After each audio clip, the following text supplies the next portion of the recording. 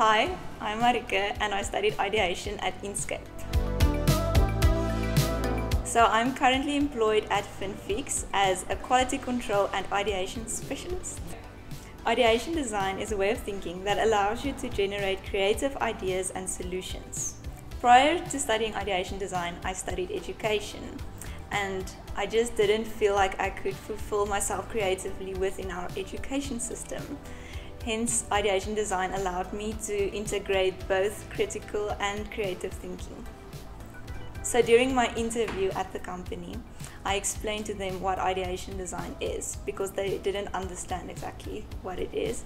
So after the interview, I heard back that I didn't get the content creative position, but actually a position as the marketing, quality control, and ideation specialist.